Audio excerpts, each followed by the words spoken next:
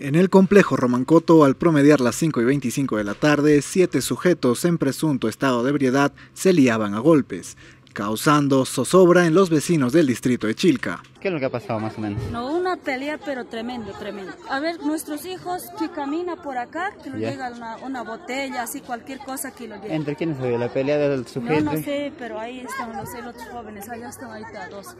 Y por favor, yo quisiera esto, pues, que no atiende esta tomada, no sé quién vende este licor todo el día. Eso yo me siento muy incómoda porque yo vivo, hay que quitar a nuestros bebés, a nuestros hijos, llega, yo vivo allá demasiado. No al ser intervenidos, uno de ellos agredió al personal de Serenazgo y policial. Además, rompió los faros neblineros del vehículo de Serenazgo, por lo que al negarse a la identificación se trasladó a la comisaría de Chilca para las diligencias correspondientes. Por una llamada telefónica de los vecinos del sector de Romancoto, eh, nos hemos acercado al lugar donde indicaban que se estaba produciendo una gresca entre jóvenes ebrios. Al eh, llegar al lugar, efectivamente, se, se verificó que un grupo de siete jóvenes estaban que se agredían con botellas, con piedras.